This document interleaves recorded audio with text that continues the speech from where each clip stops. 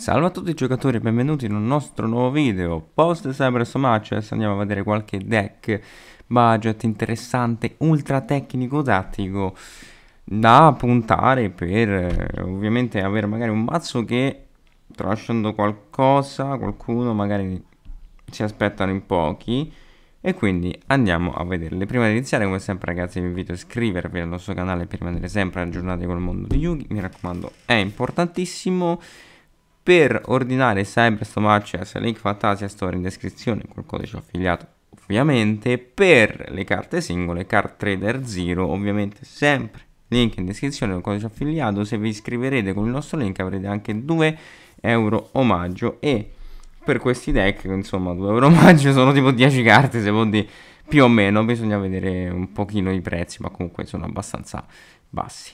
Partiamo! Allora, Samurai Super Pesante, vabbè, questo qui era... Eh, lo, lo stiamo dicendo da quando abbiamo visto i primi spoiler OCG, quindi diciamo che so mesi con sta di Samurai Super Pesante e non mi ci soffermo oltre, cioè da un sacco di tempo ho detto ragazzi recuperatevi i supporti per il Samurai Super Pesante che è veramente un deck che può dire tanto. Le carte sono praticamente tutte comuni tranne una super, due super, il mostro effetto pendolo e il sincro e l'altro sincro ultra. Il resto fattibilissimo. Anche queste qui dovrebbero essere fattibilissime, quindi a manetta sul Samurai Super Pesante. Counter Fairy con il nuovo supporto, perché fondamentalmente Counter Fairy si sta trasformando in un pen Counter Pendulum, che comunque non necessita delle wombo combo pendolo praticamente c'è questo nuovo supporto che ci aiuta con il corno del paradiso che fondamentalmente vai a fare tante mh, mm, riesce a fare tante negate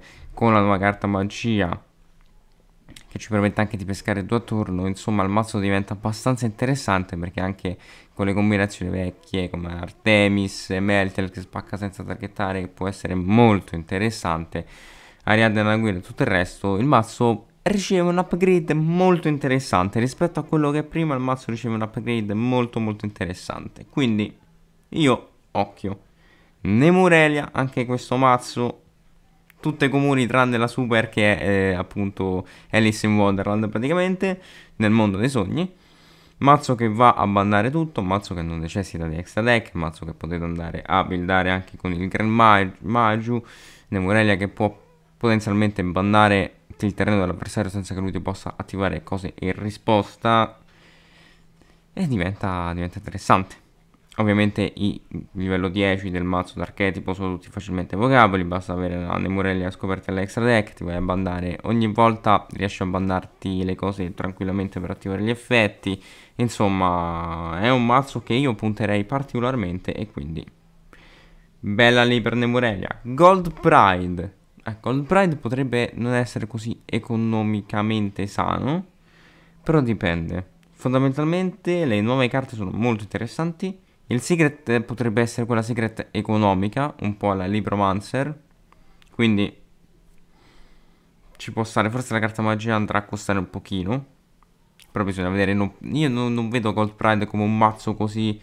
Eh, expensive, diciamo così costoso. Quindi poi tutto, tutto sta, noi intanto lo diciamo, poi potrebbe salire come potrebbe scendere, quello dipende anche dai risultati. Mazzo che predilige essere mischiato con, con punk, però qualora insomma si volesse fare una versione pura per risparmiare di più non sarebbe male, non sarebbe così performante, però sempre discreta potrebbe essere. Per concludere riprendiamo il grande e irreprensibile monarca, perché sempre una carta magia nuova, il monarca che ti fa due vocazioni normali in più a turno, che ti pesca due carte a turno, che potenzialmente dopo non ti può neanche negare eh, l'equazione normale, rimuovendo ovviamente la time dal cimitero e scartandone un'altra, e diventa pesante. Anche perché poi usciranno i nuovi monarchi da Duelist Nexus fra qualche mese, però insomma il mazzo comunque pesca tanto già di per sé, fa le sue combo, c'ha il suo pendolino che comunque è un peschino a gratis con tanto di tributo. Insomma, Monarch è interessante, interessante perché poi andrà eh, in futuro a tributare i mostri dell'avversario e a fare altre interruzioni anche al turno dell'avversario. Quindi noi intanto prendiamoci il mazzo, che comunque ha ah, tanto non sta.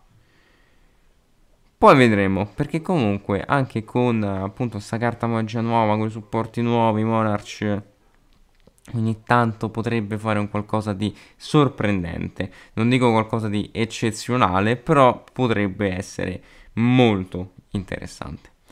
Detto questo ragazzi, fatemi sapere ovviamente voi cosa pensate. Noi come sempre ci vediamo nel prossimo video e un saluto a tutti.